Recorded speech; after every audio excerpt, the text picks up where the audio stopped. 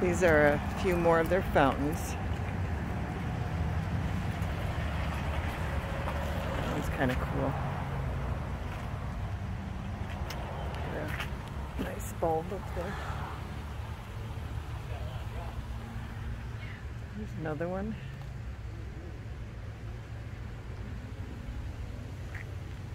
Showing you Virginia, just to scan it real quickly. Nice one. That's $2,000. I'll send some pictures of certain ones, but that's not too bad.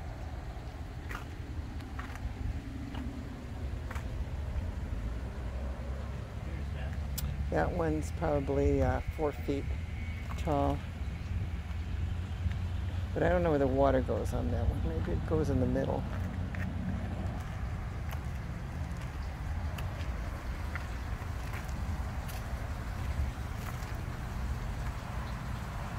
This one here is $13.99. That's about uh, four and a half feet. Kind of interesting.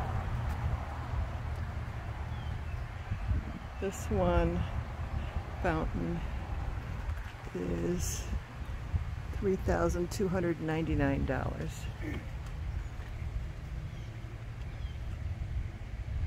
This three level four level cascading pool is $1,699. That's about uh, four feet high with the base there.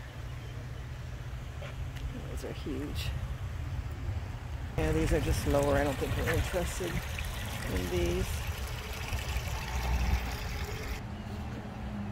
There's one that's about five feet high, which is $2,599. This isn't Feature Pros that I was talking about. This is an interesting one. Let me get the price tag of that. $1,799.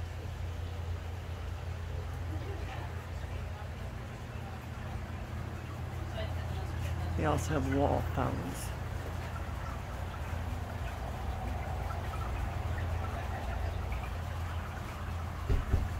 It's a nice statue. $4,000. Well, it's $5,000. Yeah, plants galore. All the way back here. But they do look kind of expensive to me. These bromeliads here, I don't know.